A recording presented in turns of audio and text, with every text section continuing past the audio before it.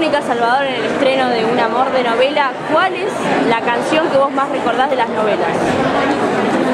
Y una voz en el teléfono, quizás por, por mi amistad con Carolina Papaleo, pero es una novela que, que recuerdo y una canción que es muy pegadiza y la está pasando mucho últimamente. ¿Qué expectativa tenés para la función de estreno de hoy? Disfrutar, entregarme, disfrutar, eh, recordar, qué sé yo. La verdad que disfrutar. ¿Estás haciendo Evita? ¿Cómo te está yendo? ¿Cómo encarás ese personaje? Estoy haciendo, yo elegí ser Evita, Rita Terranova y yo estamos en el Teatro Santa Barisa haciendo una obra preciosa, muy original, nos está yendo bárbaro, le encanta a los peronistas, a los no peronistas.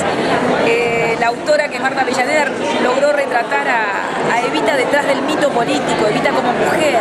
Entonces se la ve apasionada por, por su amor por Perón, por su amor por el pueblo y, una fantasía que ella está en el cielo y la periodista tiene acceso al lugar donde se encuentra. O sea que una idea diferente que por suerte gustó mucho.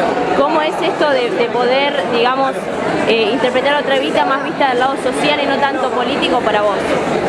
Y para mí es maravilloso, es un personaje mítico en la historia, la verdad que es, es, es maravilloso, traté de, de, de, armarla desde la estructura, desde los sentimientos más que desde lo visual. Si vi bien material, no vi mucho material, para no caer en la imitación o en lo externo, sino en la parte interna de ella.